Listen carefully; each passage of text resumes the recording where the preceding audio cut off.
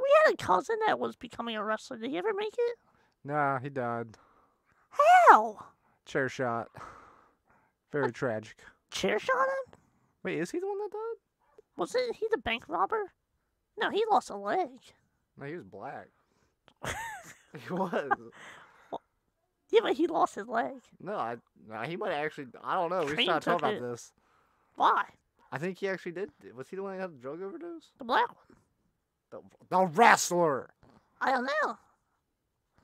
Oh, remember there was like someone, and then he he died, and then we're like, okay, I didn't know him, but it's sad. But we see one of them wrestle. I used to know him. I don't like. I don't know why people gotta tell me bad news if I don't know. I don't want to feel bad if I don't know the person. Yeah, I don't like when like your cousins, uncle, aunts call and say like, "Hey, your uncle's in the hospital." Like, I don't know him. You're like, "What happened to him?" We're like, "We don't know." Wait, who? How do you know if he's in freaking the hospital, but you don't know what happened to him? He's he's just visiting. Who told you he was in the hospital? He's getting his Viagra. They're like, "He's unconscious." He's uh, in unconscious. hospital." Huh? He's unconscious. Okay.